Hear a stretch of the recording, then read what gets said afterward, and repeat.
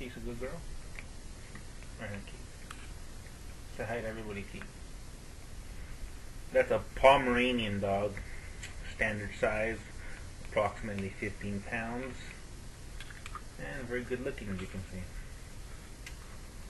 And she wants a little bit of uh, protein, coconut, almonds, a little bit of antioxidants here.